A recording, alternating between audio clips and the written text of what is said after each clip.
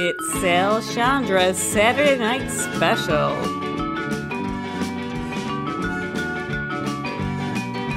Tonight's guest, Brad Loliger. Hi there, and welcome to my Saturday night special. Tonight I'll be talking with staff attorney for the Center for Elder Law and Justice, Brad Loliger. We discuss the legal system as it relates to senior citizens, the social ramifications of the coronavirus, and community theater. I hope you enjoy it. If you do, please be sure to like this video and subscribe to my channel. For updates on when new episodes debut, click the bell icon for notifications. Thanks. Brad Loliger. I am Loliger, actually. I'm so glad that you could be with me today.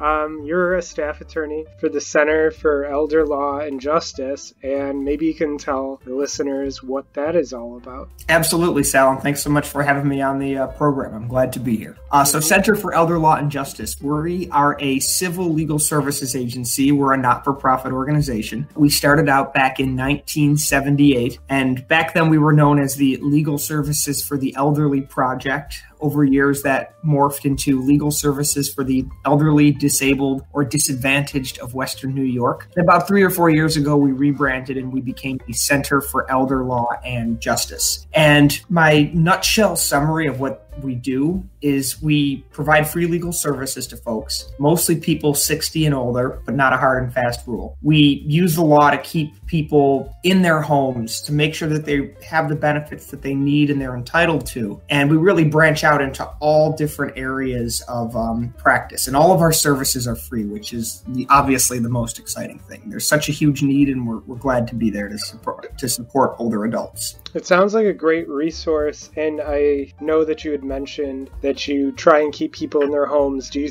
do you find that bankruptcy or loss of faculties, you know, in order to control your own decision making, is that mostly what you seem? So, our office, we do a whole bunch of, of different legal services. One thing we've always done over the years is like healthcare issues, Medicare and Medicaid. Even though we have a system of Medicare, which is great, it doesn't cover every single thing. So, sometimes people have to fight to um, uh, get certain benefits covered, and we will actually um, fight for those benefits. What's an when example of uh, a benefit somebody might need to fight for? Let's say you're in uh, an older adult ends up in a hospital and they get home and they then get a bill from the hospital saying, "Hey, you owe us so many thousands of dollars." Medicare might say, oh, we're not covering that because you weren't deemed inpatient. And if that happens, you could be liable for that, that bill possibly. Because Medicare is a federal benefit, we're able to go to an administrative fair hearing. You have a, a right to certain hearings. And so we can go and fight for you before an administrative law judge. There's a something called a fair hearing where you actually make your arguments and say, no, I really was inpatient. This is what the medical records show. This is why I shouldn't have to pay this bill. So what's really interesting about it is that, you know, you don't often think, okay, I needed a, a paralegal or an attorney to help me in this because you're not filing a lawsuit. You're not suing somebody. You're, you're not even setting foot really in a, in a courtroom or going downtown. A lot of this is done via phone at the federal level, but it's still something where an attorney can help you. Your other question too that I, that I wanted to loop back to was about older adults, bankruptcy. What we see all the time is folks on fixed incomes. Sure. There's only your one emergency, and the coronavirus is highlighting this. Yeah, you you are if somebody loses a job and then has a health emergency, everything can crumble. Every cent is so so important, and so fighting for benefits that people are entitled to, that they need to make themselves uh, remain independent in the community, keep their dignity. You know, that's what we're all about. Correct me if I'm wrong, but lawyers are traditionally bottom feeders and bloodsuckers. And, and no. I, I, will correct you on that. no, no. Not traditionally, I, I, right. only occasionally. Uh, I appreciate a good lawyer joke just like anyone, Sal. So, to be serious, look, you're not for profit that allows people to, to basically retain their dignity in face of what might be an insurmountable kind of legal challenge or or maybe a clerical error. Maybe something as innocuous as that or maybe something as remote as just administrative callousness. So we do in this country specifically, we have an aging population. Do you see that your numbers of intakes, people requesting your services, are going up? Yeah, I, a perfect example of that is just the growth of the agency itself. So I told you we started in 1978. I started as an intern back in the summer of 2011 back at that time we had yeah uh, well, i know back in 2011 um, marvel's thor was in the box office. It was a time president obama was still in his first term. Yeah. Uh, you know all those sorts of things. It sure. seems like a lifetime ago but at that time our agency had i think five full-time attorneys and maybe five or six full-time paralegals a receptionist and an administrative assistant and our ceo Today, we have over 50 staffers, including probably close to 20 attorneys, just as many paralegals, and we're spread out over three offices. We have an office in downtown Buffalo, we have an office in Lockport up in Niagara County, we have an office in Dunkirk in Chautauqua County, and we serve all eight counties of Western New York. So the fact that we've grown so much shows that we're growing to meet the need and the increasing need for older adults. Um, you know, just a great issue by way of example when you said one little issue that can create problems. Uh, for, for a little uh, Latin here, there's something called in rem foreclosure. You ever heard of that before? Oh, yeah. I think that was uh, Marcus Aurelius. Uh, he spoke about that in his meditations. No, please, for the Exactly. so here's the deal when you hear about uh, uh, foreclosure, you're usually thinking about a bank, right? Like, the bank is foreclosing on your house because you couldn't make the mortgage payments. What in rem foreclosure is, is from the city or the county for non payment of taxes. Let's say you're an older adult and you just went through cancer and your you, you, your drugs that you need to take now, your prescription medications, through the roof copays. You have you have all these extra medical bills you may be an older adult who's living in the city of Buffalo. You've owned that house for 40 years. You you've owned it, you own it outright, you paid off your mortgage. It's yours free and clear. You still have to pay your taxes every year on that. Sure. Let's let's say you fell behind on your taxes because of that medical emergency and you had to pay for your cancer treatments. Or let's say, you know, you did have a source of income between you and your spouse and your spouse dies so you don't get their pension anymore or you're getting a way lesser amount of their pension. If that happens, uh, um, maybe you fall behind on your property taxes.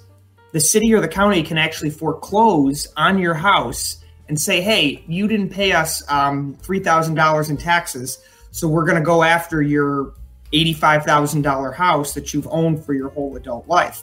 Now, that doesn't make a lot of sense that you're going to make somebody homeless for $4,000. That's going to make it even harder for them. It's also going to make more expenses on the system. So to be an, an, older adult and have to fight City Hall is, is really tough. So our office, you know, we're attorneys. We're able to look at the case, go over a person's finances, uh, negotiate with the city or the county, and say, look, let's come up with a payment plan here let's see if we can reduce this amount or can we do something to make sure that this person's able to stay in their own home. So it could be as simple as they they missed the bill or it was misplaced or you had every other emergency going on in your life right. that that this thing got overlooked. And so it, that's a big thing that we do every fall is when the in rem foreclosures. And sometimes we're down there at the convention center you know the day of right before the auction is scheduled to happen trying to save people's homes so you bring a bit of humanity to the legal system, it seems. Now, between you and I, I know that you had mentioned that you work across eight counties. Do you find that the city of Buffalo as a municipality is particularly good or bad with regard to to you helping them adjudicate these people traversing, let's say, foreclosures, to take your example? We've been the, the bigger, you know, metropolitan areas. We've been able to work pretty easily with them you know things are different. Even though we have a unified court system and even though you know the laws are the same throughout the state of new york different counties are, are different. It all depends. I know that the biggest thing we have is our reputation. We've been you know doing this work for so long. We build these relationships and are able to really make a difference for our clients Yeah. Now, one of the things I believe you offer, and correct me if I'm wrong, is legal guardianship for those who are deemed insufficient to be in charge of their own affairs. Is that correct? Yeah, this that's people, the main area of practice that I focus on. This is people with dementia or people with severe Alzheimer's or TBIs or, or anything like that. Um, exactly. Now, let me just give a little bit of a preamble before I ask my question. You have a degree, an undergraduate degree in social work, correct? I actually have a master's degree in social oh, work. You my do. undergrad was psychology, yeah. Oh, okay. Now, do you find that your social work background has led you to this discipline of law as opposed to, let's say, um, uh, property law or absolutely to to to wax uh, uh, poetic here. My you know yesterday was Mother's Day. My mom was a nurse for hospice, and I always looked up to her and the, the work that she did, and I always knew I wanted to be involved in, in a helping profession of some kind. Mm-hmm. And I didn't even know that that working in a not for profit legal services organization helping other adults was even a thing. And so I remember going to a job fair, and uh, my my boss was there, actually sitting at the table, seeking out interns for that uh, summer. She explained to me the guardianship work and what the office did, and my interest was piqued. And really, it is the work I do is such a good blend of of law and social work, and trying to understand people and how to meet them where they're at. And you know, I find a lot of times folks just want to be heard people just want to be able to tell their story and oftentimes when they're able to unburden themselves they they they have that clarity then to focus on their issue and what really needs to get addressed and taken care of. So that's admirable, certainly. I think that anybody who is in a capacity to help their society or their community in some way should probably try and do so, whether that's even sweeping your own front porch or helping somebody who can't help themselves. It's important. Do you think that the do you think that there is any sort of legislation or do you think that there is anything in terms of just the way society is situated right now that makes your job harder or easier? Do you feel like let's say the family unit i know that a lot of people don't have live amongst their extended families or they live in separate states or municipalities. Why don't you just talk a little bit about about what what would make your job easier or, or harder, what just some of the realities are. I think one of the, the hardest things, which you were just talking about, is separated families or folks who are spread out. We see a lot of older adults who just uh, oftentimes feel lonely or isolated. And of course, with everything that's going on, that's even worse now. That's yeah. a lot of times how we find um, older adults who fall victim to elder abuse scams. Um, they're yeah. victimized you know, we, have seen umpteen cases of, uh, of an unscrupulous actor who gets on the phone and says, Hey, we need your information. We've even seen this happening with coronavirus, where people are sending direct messages on Twitter to folks saying, "Oh, well, we need your social security number so we can process your stimulus payment." Right.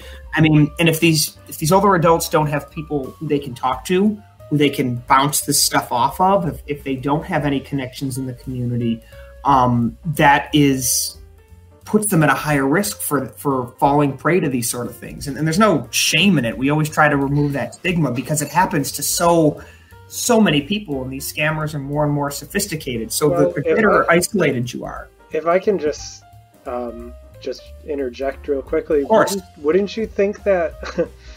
I, I mean, the elderly are certainly undergoing a bit of future shock, but I myself, I feel like I undergo future shock um, just at the sheer this sheer magnitude of the changes. And I mean, I just a, a brief um, sort of anecdote. I helped um, my wife's grandmother set up her antenna, her digital antenna. This was something I was unable to do over the phone. So I had to mask myself, I had to wear gloves, I had to um, observe all the hygienic, um, I guess, uh, niceties protocol in order to do this for her. And it made her life so much better because it's just as you said there's I, there's a there's a an issue of loneliness. There's a loneliness epidemic that exists irrespective of the coronavirus and shelter in place orders and i think it's exacerbated by it. Um, so the fact that these people are falling prey to these unctuous pernicious uh, scammers it really turns my stomach because for all we want, I think that we're a society that's always in this um, this contentious uh, warfare of one generation against the next. You know, I heard the coronavirus being called the boomer remover, or it's just despicable because I think so much is manufactured and real people are um, they're getting victimized. You know, maybe because they're not they're not so caught up on everything and those moments when we do have older adults who connect with a younger generation, I mean, the the joy. I've been a Meals on Wheels volunteer in the past, and the joy that brings. Feed more of Western New York now for correct. Yeah. You're exactly right. Yeah. Uh, how how is it situated now? Feed More Western New York has two programs: the Food Bank and uh, uh, Meals on Wheels. It's all under one umbrella now, which is awesome. And the thing we see about these older adults is, you know, they help to contribute to the society we have now, and to then be in a situation where you're, you're vulnerable. I mean, it, it's just a horrible thing to have to go through that sort of thing. And so that's why we're available to, to help folks, to point them in the right direction, to, you know, get them in a situation where maybe they aren't afraid anymore. We have a whole unit of, of elder abuse prevention where we do safety planning with older adults. So let's say they've got a son or a daughter who's stealing their social security check every month they're afraid to, to confront them about it because they're the ones who are pulling the purse strings. We can come up with uh, getting them to a safe place, getting them an order of protection, appointing somebody to be a healthcare proxy and a power of attorney who they actually trust. I mean, that that's the hardest thing is when it's a family member or a loved one, and and you know every person has self determination and individual rights, and so the heartbreaking cases are is you know we get people who do come to us and they tell us our story or their story. And we say hey we can do this to, to help you but they don't want to pull the trigger. Right. even if your son is a jerk you probably don't want to send him to jail. And yeah. that is, is the tough thing. You're offering them uh, recourse and they're under a sort of what i would figure is uh, an emotional duress really that mm-hmm. they're unable to to make this severance if they need to or to do it because it's it's a very hard thing to be betrayed and it's an especially hard thing to be betrayed by um, somebody who's supposed to have your best interest at heart so mm-hmm. i can imagine the nature of your work is very emotionally taxing there is it's it, it's really really tough and there is hard things and that's why our old supervising attorney bill barry who was there for nearly 35 years um, as an attorney you know always said you got to appreciate the victories and and always celebrate those because when we are able to get results for clients and do things that better their lives um, it's, it's so important because that means so much to them. Yep hold iron will bill. That's there you go. Yeah. Uh, Brad, do you want to speak a little bit uh, about how the coronavirus and the shelter in place orders have acutely affected your work for Center for Elder Law and Justice? Yeah, absolutely. So we talked a little bit about the benefits that folks need Medicare, Medicaid, um, Social Security. All of those wheels have really sort of ground down to uh, a very, very slow pace now because of this. The Social Security office, people can't physically go to it right now. Um, Medicaid, the applications which are used to um, cover a person's stay at a nursing home, the workers are all working from home for the most part. So there's a, a slowness there trying to get um, information from them to process those applications. And in general, there's just a lot of um, questions people have. How am I going to get my CARES Act monies, the stimulus money? How does that money affect uh, my other benefits? Uh, you know, folks who are on SSI, which is Supplemental Security Income, they only um, can keep two thousand dollars in the bank at any one time. And so when they get this twelve hundred bucks in the bank, how does that affect them? Well, there are special rules um, where they're able to, to keep that actually without it affecting the benefits. So what we've done is one of our programs is the Senior Legal Advice Helpline, and we've actually opened that up to the whole state. Usually it's the eight counties of Western New York and Monroe, Livingston, and Steuben. In light of the coronavirus and the pandemic and the need to get good information out there, um, we've opened this helpline up to everybody. And so anybody can call. Um, an attorney will get back to them within a day and talk about their legal issue and see if it's something that they can uh, we can help with, if we can point them to the right direction, if we can even straight up answer a question. And, you know, it runs the gamut of, well, if I'm a um, essential worker, do I have to come? What does it have to do with, um, you know, my rent, evictions, all these things that they all touch the law. They're all related to executive orders and everything else. And so we've been updating our blog at elderjusticeny.org with all kinds of good information, um, answers to questions, and uh, trying to point people in the right direction so they have a good source of information. Now, do you find that people who do contact you have good results? If we can resolve it on the call and answer their question, beautiful. That's that's the best thing. I want a caller to be able to hang up afterwards and say, "I got my question answered. I now understand what's happening." If we're not able to answer the question right on the call, we can actually refer the case over to one of our units at the agency. So we have um, attorney paralegal teams who we can refer those cases to, and they can give that caller a call back and see if they're able to um, uh, resolve it. If not, you know, we're a not for profit law office, so we don't handle all types of cases. So if it's something we can't help with, we try to refer to uh, the Bar Association to see if they can set them up with an attorney or another not for profit legal services organization. But we don't leave people high and dry and always try to give them good information so they can get pointed in the right direction. It sounds like an invaluable resource for the elderly population here in, in the region, but it also seems like you offer uh, a good resource to people who just care about those um, who are most vulnerable. It's, it's certainly worthwhile work and it's definitely necessary. Do you ever just judging by what we had talked about earlier about future shock, do you yourself feel a bit of future shock or just shock in general at the change with regard to the stimulus monies and all these other provisions that might change the legal status of an individual? It, it's just amazing how fast we've all had to, to catch up. You know, for for our work, most attorneys, if they're practicing and, and going into court, you go into court, you see the judge, you, you file documents at the courthouse. All of that came to a screeching halt. And so to think that it's almost been about two months since all this started now. And, you know, I haven't set foot in a courtroom in two months. And now they've come up with ways to do it via Skype for business or you're doing telephone conferences. I believe the um, the court system set up a new filing system where you can file documents online, and they put the whole thing together in like 72 hours. It, it, it's incredible how fast we've had to move and change, and still be able to to find a way to help the clients, and that's ultimately the the most important thing. And every once in a while, I just have these moments where you sit back and you're like, "Oh yeah, I, I used to drive my car into work every day, and I used to." Uh, uh, walk up to my office and work at my desk. And now it's this all strange blur. But that doesn't change the fact that we're still doing that same work to help the people. Do you feel like these recent developments have exposed any glut or any inefficiencies in the way the legal system operates? Or just, I mean, what is your own beat on this? Do you think that any sort of deficiencies have been exposed? And you can answer as openly or as narrowly as you want. I think it's interesting to see how it's changed everything now and how that's going to make an impact in the future. I mean, we're only two months into this.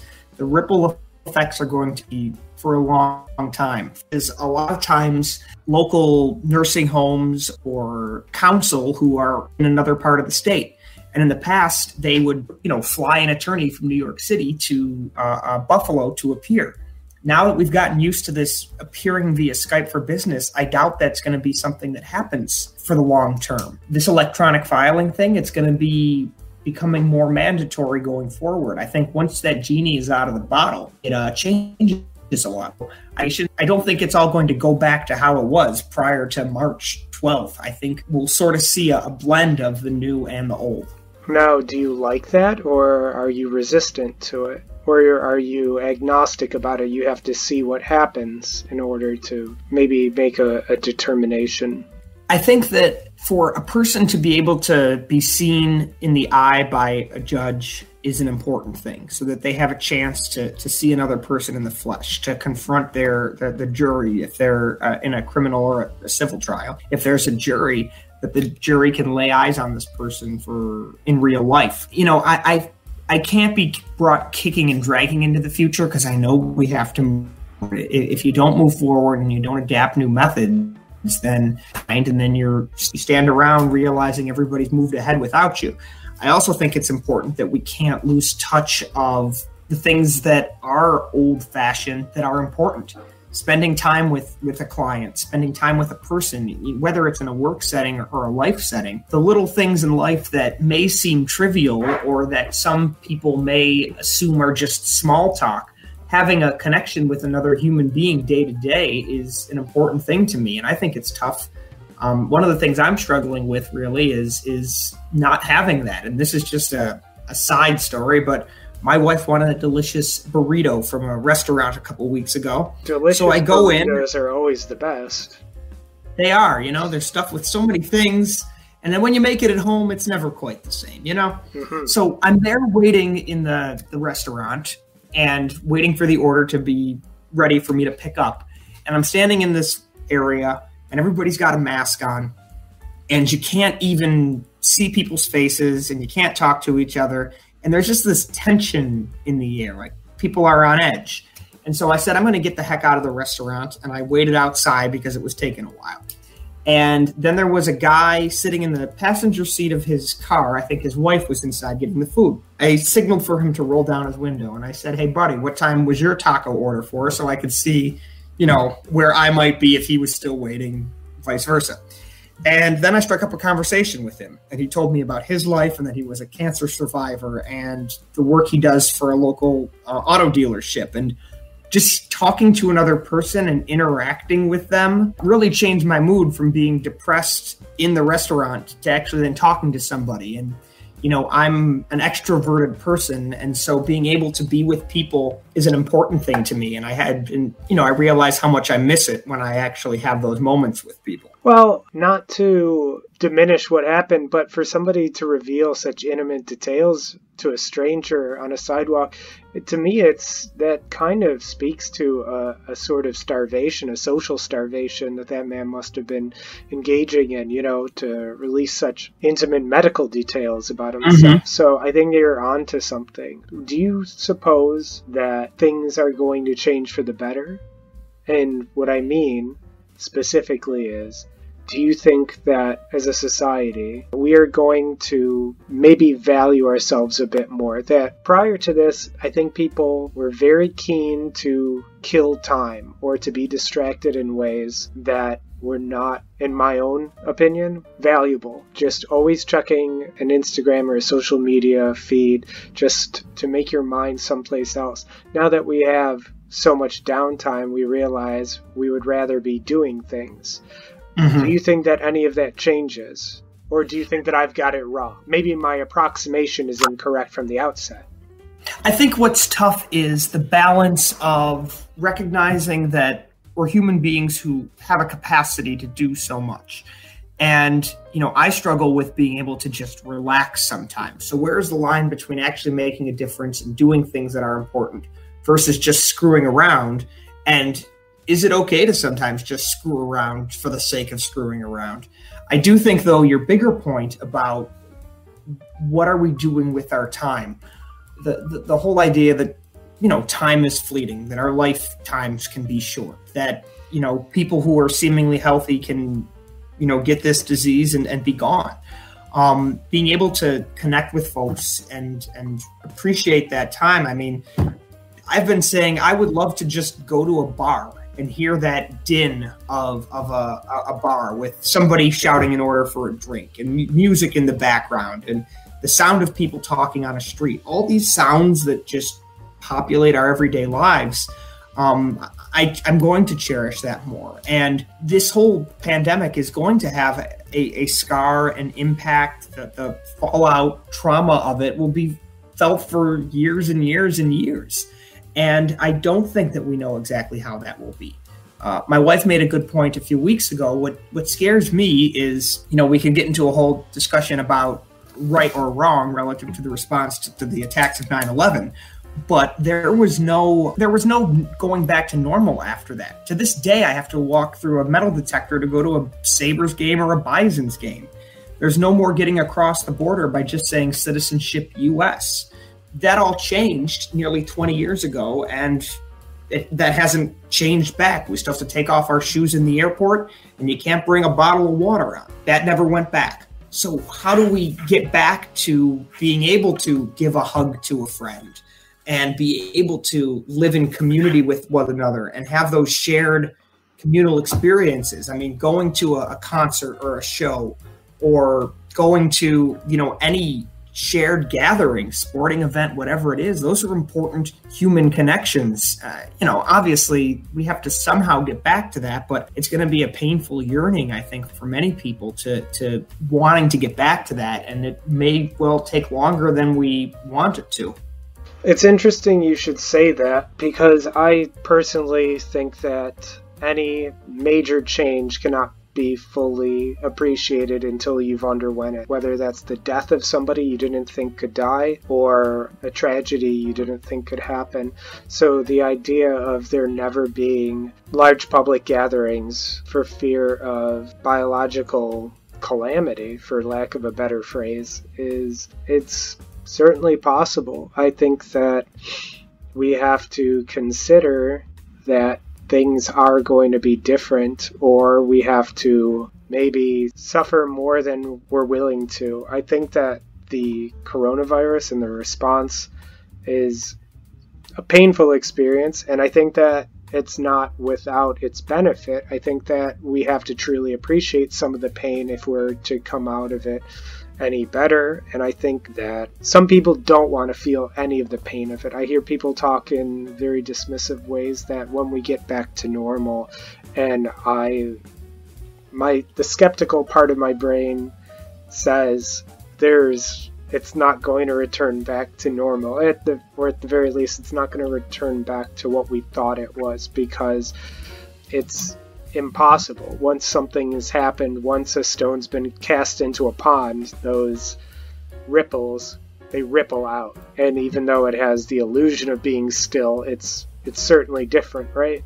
So what are some of your predictions for what's going to happen and then what are some of your predictions for what you would like to happen in mm-hmm. response to all of this well when you what you just said and i want to highlight your comment about going through this and unfortunately you know nobody we, we spend so much time running from well i don't want to be sad.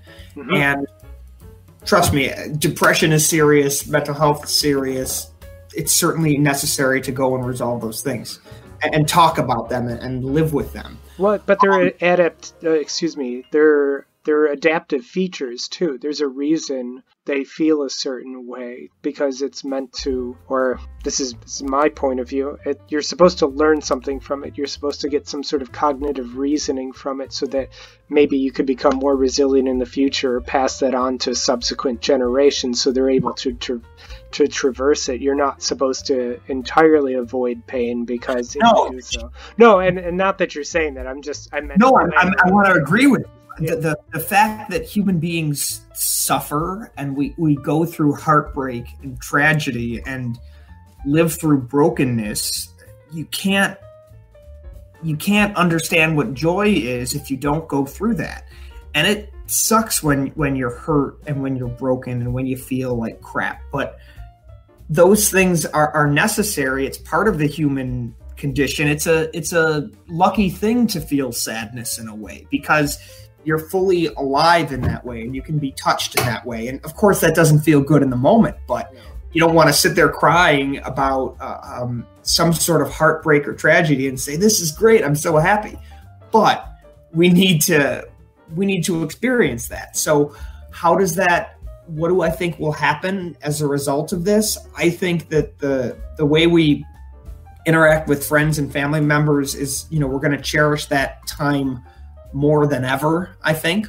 Um, I think that's going to be something that's felt for uh, uh, the next few years. I also think that the, the generation right now, that the kids who are graduating high school and college, um, this is going to have a profound impact on them to, to not to lose your, your you know senior year of high school. Is so important. It's formative. We can we can laugh and joke about high school kids but this is the most important thing to them. And to, to lose all those those things is tough. Um, you know, tradition. It's it's easy to um, you know, do we fall into tradition just for tradition's sake? But I think that certain issues of ceremony and tradition have provide meaning to the way we do things. I'm an and, anthropologist after a fashion. I agree with that. I don't think that there's enough ceremony and pageantry, especially in uh, secular American life. I say this as an atheist.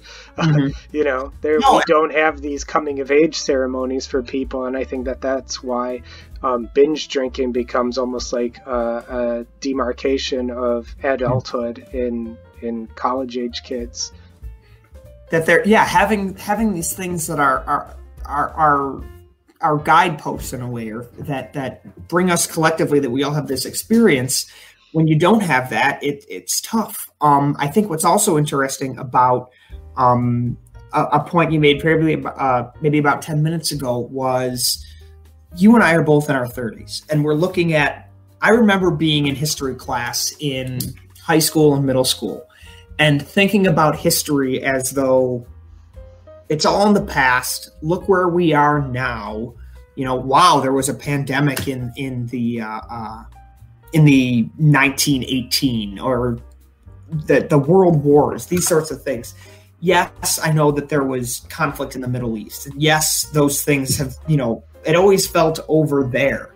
For folks of our generation, between you know terrorist attack on 9/11, the housing crisis of, of 2008, you have um, you know the rise of, of uh, uh, uh, all kinds of extremist groups. Now this pandemic and the subsequent economic collapse. I mean, this is uh, uh, a really really difficult time for for young adults. And how does that shape how they move forward? How does that shape the way they view the world? I think it's gonna it's gonna be different than it would have been otherwise. Well, I want you to I want you to explain the full breadth of of what you think is going to happen, but I do want to ask: Hasn't this always been the case? Even if we think we're we're removed from history or from reality, reality has a very um, unbeaten track record of reminding people that it's real. So that is that is a great quote, Sal. I think you're absolutely right. I think can't that, hide from reality; it's going to catch no. you. Mm-hmm. Yeah, I think you're right, and that's partially my own biases of well, we think we've got it all figured out, and but, we don't. You know. But to your point, I think I think um, I full disclosure, I I don't want to talk politics so much, but I mean this in an ancillary way. Barack Obama talks about being on the right side of history, that always struck me as sort of um, presumptuous because um, we're not in a post historical era and um, history. I'm a fatalist after a fashion too. That nothing happens unless it happens. So, um, and again, to knock on the door of politics, when people were telling me in July of 2016 that Donald Trump wouldn't be the president, I kept saying, unless he does become the president, you just this assuredness and this idea that certain things are un uh, unable or were they they simply cannot happen or that things will continue as they are. It just seems so presumptuous and like it philosophically wrong and not just philosophically wrong i mean it's demonstrably false. Everything it's going it cannot be true do you know? Folks think they have things figured out or well this is the way it has to be. And it's it's that's the way it is until it's not. And there's nothing that says oh yes uh, we will always have fresh water available. Correct. Or we will uh, will always have uh, uh, you know the the way that the, the, the just, exactly no i mean just things that you don't even think and that's what i was talking about with a large scale change is only viewable from the other side of it. You cannot mm-hmm. anticipate it until it happens. People are alive until they are dead, that sort of thing. Mm-hmm. So, um, this idea that we are going to avoid a superbug in perpetuity mm-hmm. is laughable to me. Or my one of my favorite theories that is not my own, but something that I uh, uh, think about often is the scale of time. And the the idea that the, the this country as a, a country, I mean, uh, uh, that's been in existence pursuant to a founding document, 1776. It's nothing. Mm-hmm. And and we look at our, our our lives, and people think the way it is now is the way it's always been, or the way it was when they were a kid was the way it's always been. When in reality, our our our lifetimes, and then you look at the the time of uh, uh, the, the age of this country. It's so young. It's such a blip on the grand scale of history in the time of this planet's been around mm-hmm. to try to understand that is is difficult for me to, to wrap my head around. When you're talking about knowing history and thinking about it it's not knowable until after the fact. A, a place like new york city it's gigantic. Do you think that when they were first settling anybody had any conception that it was going to turn into what it is now you know or no? And so you don't know what will be until you're there. And even when you're there, it does not mean uh, that it continues on like that forever. I agree wholeheartedly because you only have your portion of time to live, really and mm-hmm. to to think that you would have lived the past better than those denizens of the past or that you would control the future better than those denizens of the future is folly i think it's also almost an admission of moral defeat that you are better served to be in a different time period. It's an abdication, rather, of your responsibility to make the world what it should be in the present. Do you agree, or? How do you reconcile what we think the world should be in the present with what the people who are having this conversation 100 years from now will say about you and I? In that, right, th- th- there's always take an issue like um, women's suffrage. There were people who were in support of women's suffrage, and there were people who were opposed. Now, the people who supported that, they were out on a limb advocating for something that other people didn't think was right. So when you go to this right side of history argument, right, we the whether or not we like that expression, I would be glad to know that my ancestors were on the side of, of women's suffrage and giving them the franchise to allow them to vote. I think I know what you're saying, but again, I just have to be skeptical of it because I can't say with any certainty how I would feel in a different situation. I'm a creature of my time, so for me to say that I would be a suffragist or a suffragette um, then, or that I would hope they would be that, demonstrates a certain moral, um, not immediacy, but totality that I'm I'm uncomfortable ascribing no, I, to. No, that's the second point of my argument, oh. which is is okay so if somebody was, if somebody's looking at us a hundred years from now and oh, saying we're that we're barbarians compared to exactly, them. yeah, what I'm doing right now is is terribly objectionable. It wouldn't be fair from the person from the future to say, "Oh, Brad and Sal should have known that it was wrong to use a computer because the mineral that's used to create it was so finite." and everything they did completely destroyed this society. Well, uh, I mean, um, you don't even have the, to... the Earth for doing it.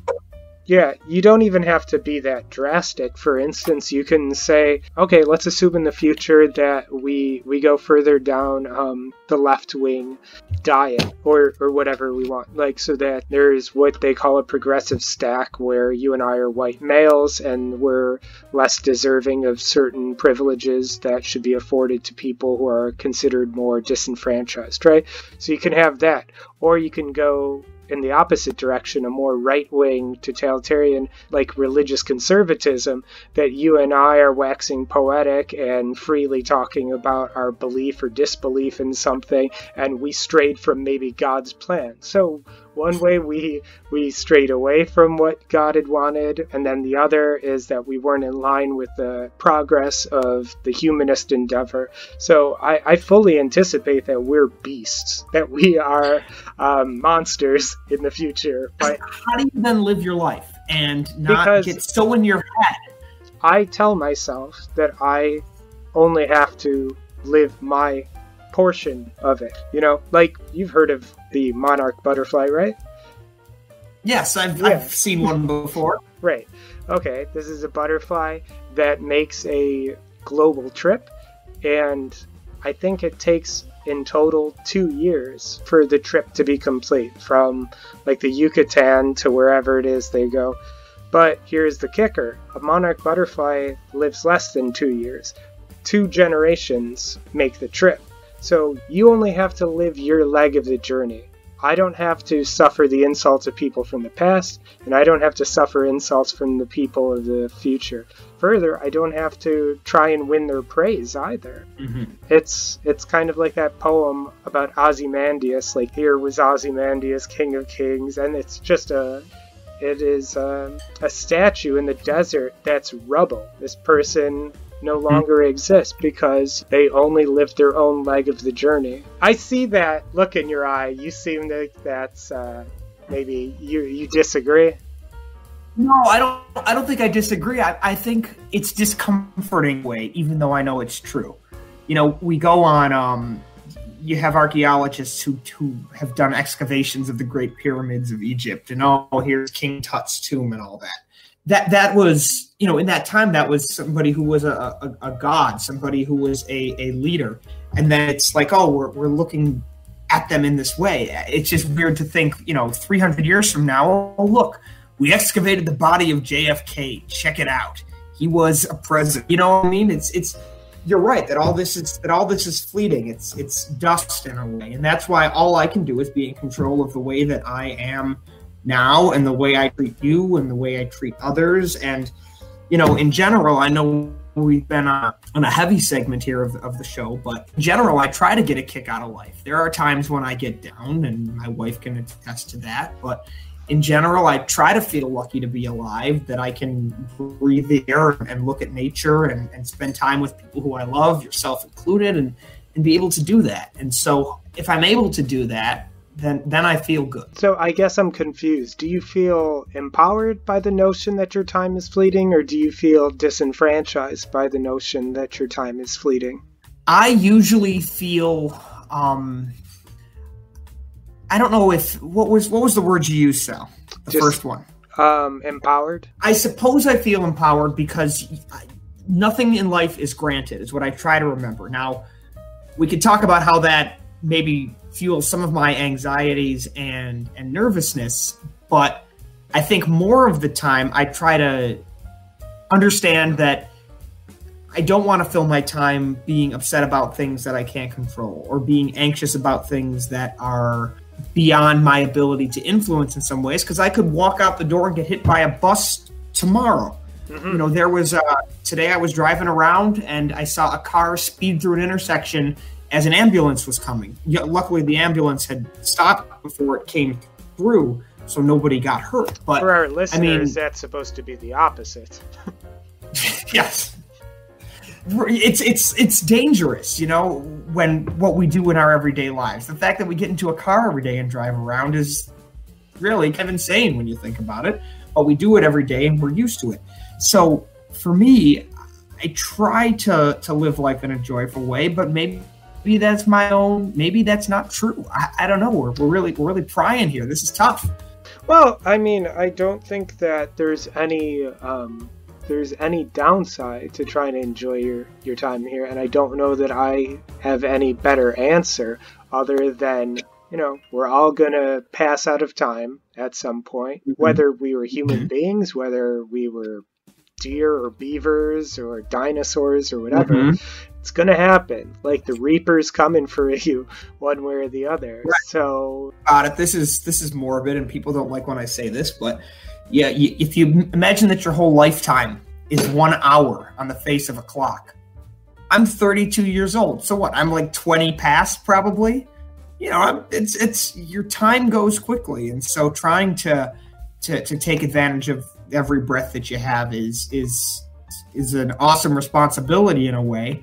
Um, but it's something that I want to you know do better and, and try to sh- try to spend less time being uh, mixed up or anxious about those sorts of things. So, to bring this into totality, do you feel that people will? Do you think that they'll get a significantly greater appreciation of time, or do you think that it might exacerbate our our perverse want to dispose of time?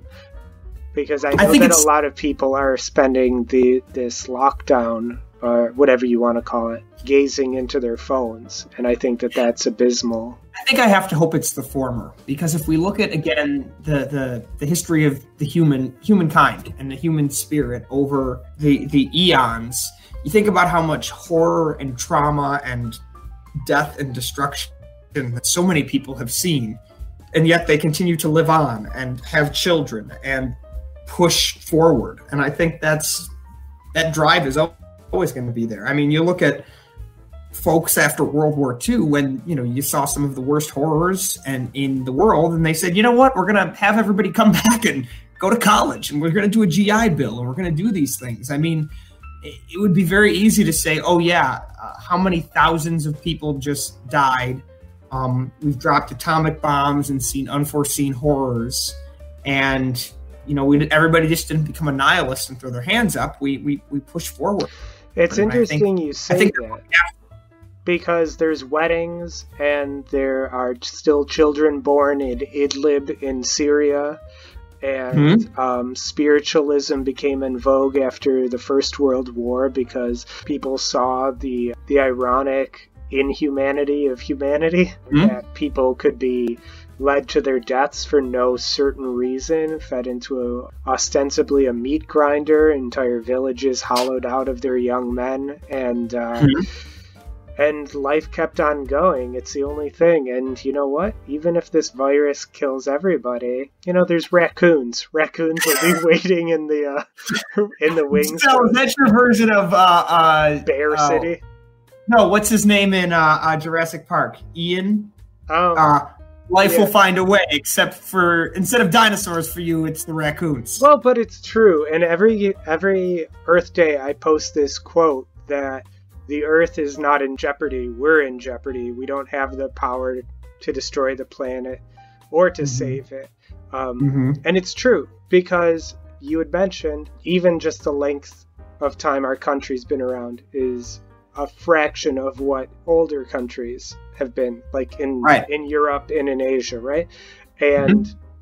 even our species is at most maybe two and a half to three million years old, and that's a pittance mm-hmm. compared to something like a shark. And right. even then, a shark is 300 million years old, and mm-hmm. life came our planet evolved. Uh, our planet's been around for like 4.8 billion, and the universe is we, as far as we can say, is 13 billion. There's nothing special about us in terms of the time we occupy. We might be special in our own ways and we might be special to each other, and that I'm not discounting that. But mm-hmm. it's part of what we do for ourselves. If we we're our own salvation, really. That's mm-hmm. that's the best I can I can figure. So we got to be good to each other and we've got to try and do better. I agree. So now that we've gotten some of the darker thoughts out of our minds, I wonder if you might tell me a little bit about your time as a community theater member because for people who don't know, you're also a member of the East Aurora Players, correct? Absolutely, yes. I uh, I started doing uh, theater back when I was in middle school. I uh, was in a production of The Wizard of Oz when I was in seventh grade or sixth grade. I played the Emerald City Guard. It was great. And then in seventh grade, I was in Cinderella and I was the king. Also, it was great. Um, did it all through high school. A lot of fun. I just there was something about that of about being something greater than yourself and going through this process of auditioning and rehearsals for three months and you put on a show. It's incredible. Um, sort of lost touch with that in college. I did the, the UB choir chorus for a couple semesters.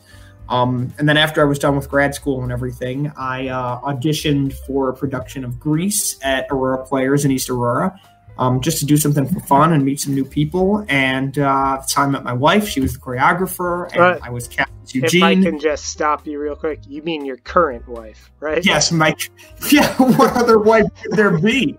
Oh no, I'm just I wanted to get you on record. Yes, my current wife. Okay.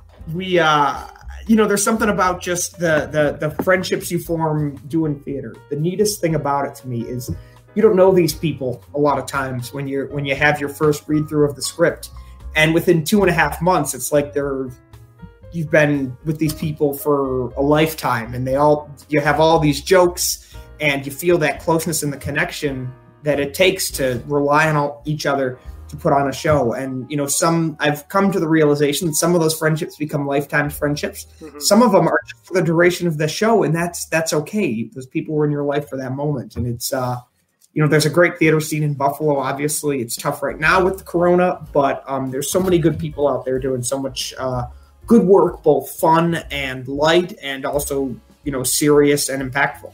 Now, um, couple of things. What was it that initially drew you to theater? Did you see a production, or did you always like? Are you from a theater family? Not really. It's funny that I I uh, I isn't it funny that I can't even think about why I would have um, what drew me to audition in in sixth grade. Well, you I did married into a theater family of sorts, right? Well, that's absolutely true. My wife has been very involved in theater for her whole life. She actually worked for a a, uh, a theater company in New York City, um, Signature Theater, for uh, several months, which was incredible for her. And there's just um, I don't know. I've just always gotten a, a kick out of it. I've really, really loved it. There's just something about uh, putting a show on and, and, being on stage and the thrill and rush of it is just awesome. You like making people laugh, so do you? Do you tend to go towards like the the lighter fare, the comedy stuff? I do. I I've never. I, enjoy seeing some serious drama. We've seen, you know, my wife and I have, have seen productions of The Diary of Anne Frank and many uh, very intense plays. Mm-hmm. Um, but for whatever reason, I don't find myself drawn to act in those. Maybe it's just the fact that my job is, uh, you know, I deal with heavy stuff all the time. Um, that I'm not usually um, interested in doing plays that are a little bit heavier, but not like out of the question that I would ever do it. Yeah. So there's a degree of escapism, maybe a bit of exhibitionism. Maybe you get to put on the mask of somebody that uh, I'm. You're for full disclosure, you're a pretty jovial, convivial person. I, but but your work obviously has some stark realities to it. But maybe it allows you to um, to uh, code switch uh, to a certain extent. Um, now, if this lockdown wasn't happening, do you suppose that you would be engaging in a production right now?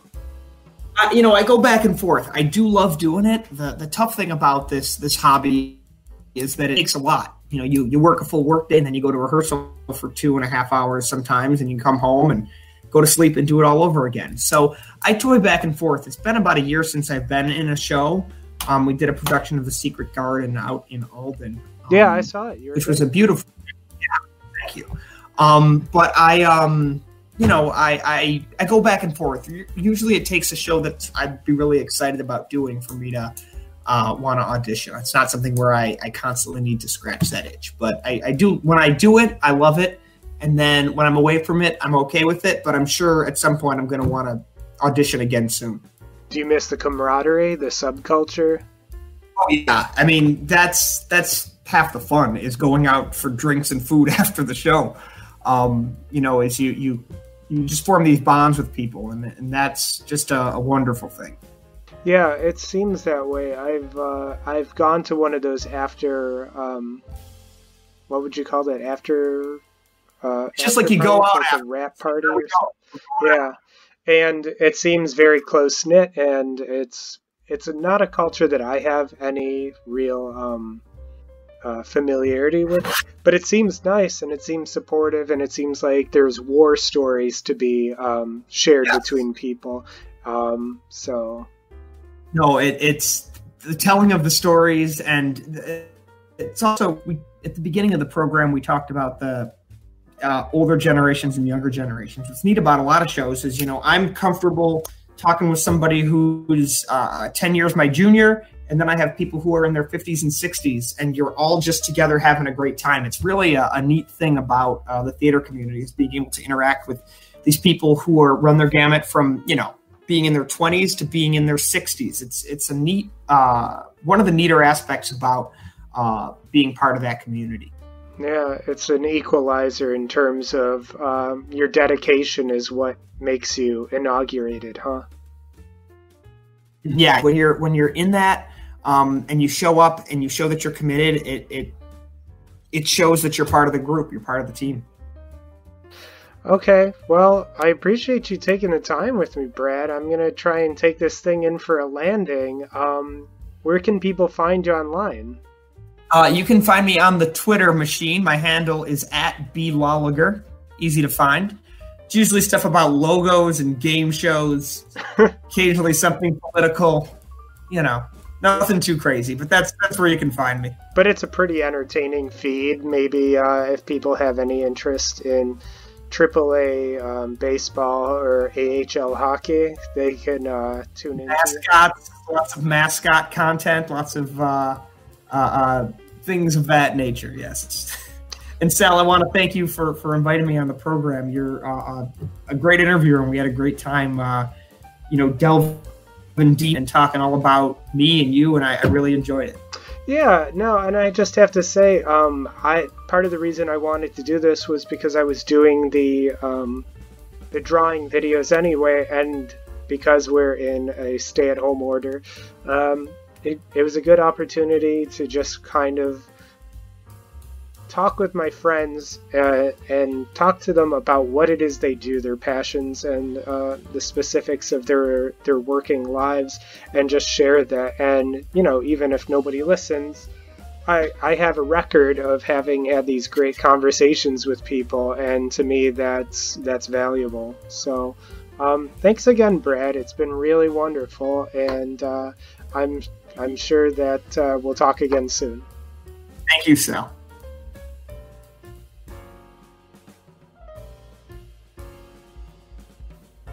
And that was my conversation with Brad Loliger. You can find him online at elderjusticeny.org or on Twitter at bloliger.